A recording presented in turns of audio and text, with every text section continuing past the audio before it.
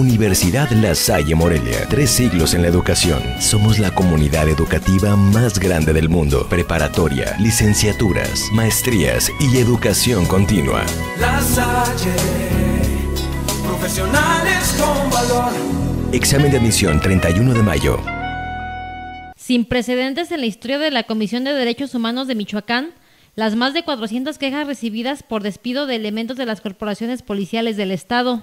No, no hay en la historia de la Comisión Estatal de los Derechos Humanos un precedente de esta naturaleza. Tenemos un expediente aproximadamente de, 400 eh, personas, pero eh, la hemos dividido en, en cuatro expedientes dependiendo de la corporación a la que pertenece, ya sea Protección Civil, GOES, eh, bomberos o ministeriales. En entrevista, el ombudsman dijo que ya se recaba la información con las autoridades de las corporaciones policiales de la entidad para determinar si fueron violentados los derechos de los trabajadores despedidos y de ser así, emitir una recomendación. De lo que han señalado, bueno, es de alguna manera el, despido injustificado, que nosotros estaremos viéndolo en función del procedimiento, no en función de fondo.